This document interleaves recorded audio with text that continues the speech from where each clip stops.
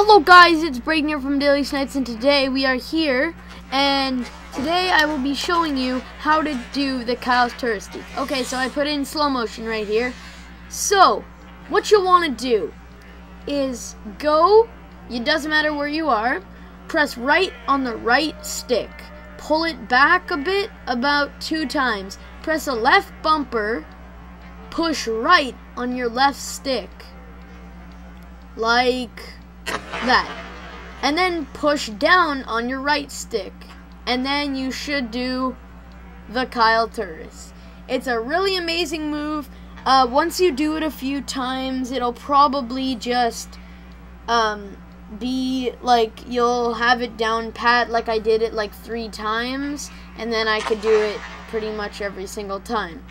Um, the thing, I wouldn't recommend trying this in a real game because it doesn't really do anything. It looks pretty cool when you're going down on a shootout, but that's pretty much it. It, like, it, it kind of fools the player because they most people don't know about this deke, so they think you're going to go that way, but then you pull it back that way.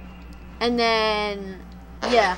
But you don't, I don't think you need a specific um, skilled player. I'm pretty sure you could just do this by regular. And yeah, now right now I'm going to show you how to do it with the actual physical controller. Okay, hi guys, I'm back, and this is how to do it with your physical controller. Okay, so you press the right thumbstick right, and you put it down. You press the left bumper. Keep on pressing that button. Let go of it completely.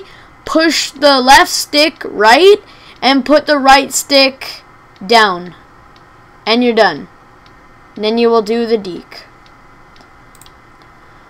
Thank guys for watching. I love you guys, and bye.